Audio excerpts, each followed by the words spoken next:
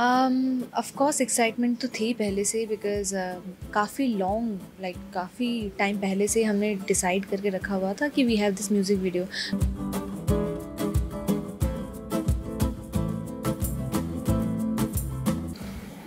खुश खबरें हैं तेरे लिए मैं हो गया बर्बाद मुबारक। That's such a beautiful. Line and I think मिठाई में अगर कोई मेरा पर्सनल फेवरेट है तो वो मिठाई कैरेक्टर है बिकॉज़ शी बाइंड्स एवरीबडी और एक बबलीनेस है she keeps everyone together and innocent है। I have also collaborated with not only Devatma but also Ranju Verghese, who's the director. And उनके साथ मैं जिद के बाद काम कर रहा हूँ। यू नो जिद के जितने भी गाने थे उन्होंने डायरेक्ट किए थे। So it was just one big celebration of course excitement तो थी पहले से बिकॉज़ काफ़ी लॉन्ग लाइक काफ़ी टाइम पहले से हमने डिसाइड करके रखा हुआ था कि we have this music video कब होगा, क्या होगा, बाद में डिसाइड किया गया तो it was pending we are like you finally we are doing this and there was this thing and it was really nice to work with him again because it's been so long कि last time you know we met and you know it it was really fun overall I think एक खुश खबरें हैं तेरे लिए मैं हो गया बर्बाद मुबारक। दैट्स सच अ ब्यूटीफुल हाँ। लाइन अगर देखा जाए तो हार्ट ब्रेक्स जिनको होता है। एंड अपार्ट फ्रॉम दैट ओ तेरी I don't remember that line like I was आज आज ही लाइव में आके बोल रही थी this is my favourite line like it's a very normal line I mean the tune of the song that is really really nice overall अगर आप बात करें जैसे वो आ, बोल रहा है कि मैं तेली हो गया बर्बाद बोलता कि तू हो गई आबाद सो लॉट ऑफ़ थिंग्स उसमें नज़म भी है जो मैंने मैंने कहा था उसमें आई डब दैट पोर्शन तो नज़म भी यही थी कि तेरी खुशी के लिए तुझे ही छोड़ के जा रहा हूँ whatever तो I think overall the nazm everything else it's like it's very good was really very tough, basically. But then, uh, where there's a will, there's a way. So of course, I wanted to do this music video since long, and also I informed my production prior. Uh, prior ten days तो काफ़ी बार ऐसा हुआ कि postpone होता गया।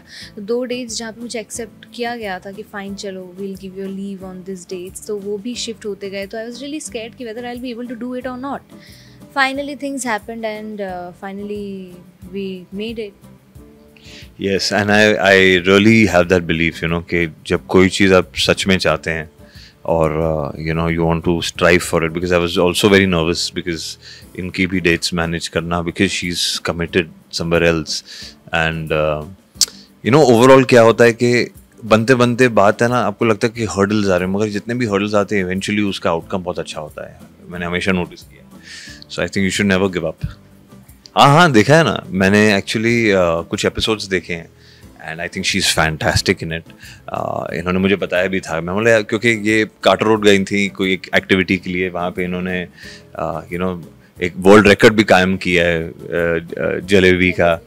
तो और फिर आलू की जलेबी भी बनाई है इन्होंने। खुद you know that's like her method and you know I think it's her madness which is which portrayal and I think मिठाई में अगर कोई मेरा पर्सनल फेवरेट है तो वो मिठाई कैरेक्टर है बिकॉज़ शी बाइंड्स एवरीबडी और एक बबलीनेस है she keeps everyone together and innocent है and I think that resonates really well so Recently, though, I have watched a Thursday, and my first call was, dude, you were so good at it, and the movie was also so good. I I loved the story and also his part. It was also really nice, you know. And um, Yami Gautam, like her name was also like Naina Naina.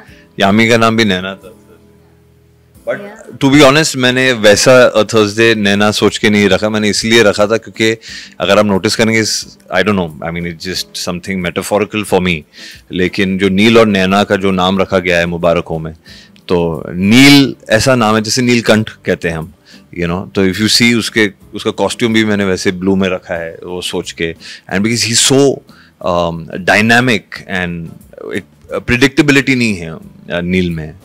तो मैं वैसे एक range रखना चाह रहा था उस character के लिए।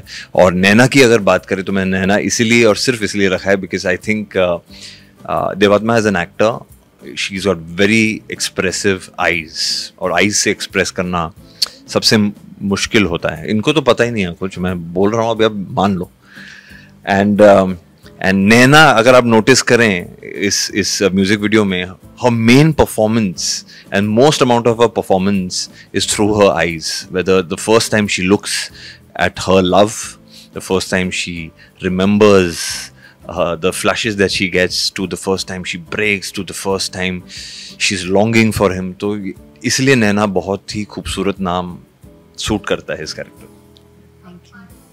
बहुत अच्छा लगता है टू सी दैट आज भी उतना ही हाइप है एंड इतना प्यार आज भी मिलता है। तो इट रियली फील्स अमेजिंग आधे से ज़्यादा टाइम तो वी कीप यू नो कुछ एल्बम्स भी भेजते जहाँ पे हमारे फोटोग्राफ्स हैं पुराने।